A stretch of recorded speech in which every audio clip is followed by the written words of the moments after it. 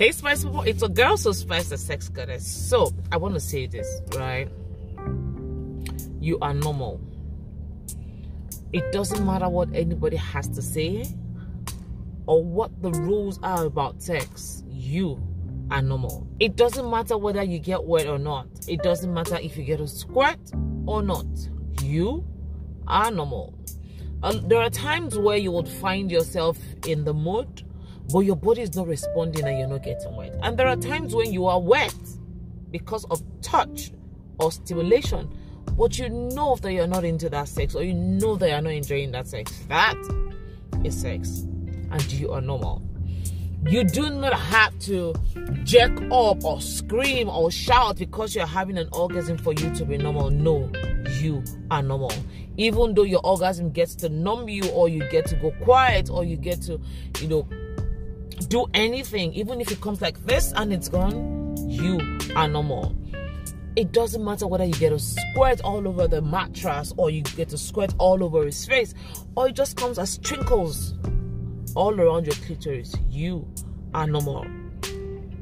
There are no rules to sex. It doesn't matter whether he starts with penetration or you don't like penetration or all you like is just to get an orgasm or you just like it when he sucks you and then you are fine. You are normal there is no abnormality in sex. Yes, I understand hormones, you know, um, you know, body changing, you know, childbirth, yes, for women, which can always be changed.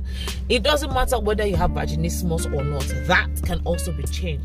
Trust me, at every point in life and at every point in your sexual life, you are normal.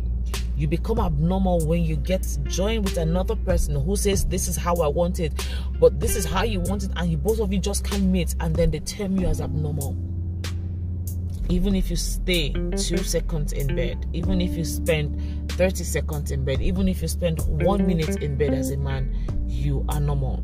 You only become abnormal when you deal with someone who wants a 30 minutes kind of sex and then you can deal with that. That is when you're abnormal.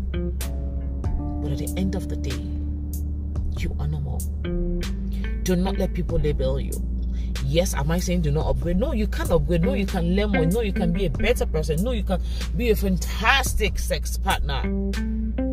All you need to do is invest in yourself. But at the same time, just know that you are normal. Do you have a to let come your way? I remain your one and only. Soul Spice the sex that is. Ya.